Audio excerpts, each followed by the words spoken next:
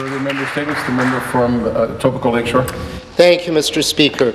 Uh, recently, I was very pleased to tour the Ontario Food Terminal in Etobicoke Lakeshore and meet with their general manager, Bruce Nicholas, and his uh, wonderful management team. I, am very proud to have the terminal in my riding. This is the largest wholesale fruit and produce distribution centre in Canada and the third largest in North America. Uh, the terminal distributes over 2 billion pounds of produce annually, an average of 5.5 million pounds per day. Located on 40 acres of land, it was established in 1954 to provide a convenient, efficient, and low-cost receiving and shipping facility uh, for wholesalers of fruit and produce, and now serves all of eastern Canada and some of the northern United States.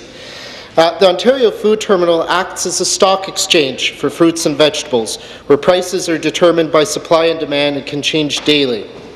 Uh, owned and operated by the Food Terminal Board, an operational enterprise under the Ontario Ministry of Agriculture, Food and Rural Affairs, no public monies are used in the operation of this unique facility. It's entirely self-funded from fees charged to the users of the facility.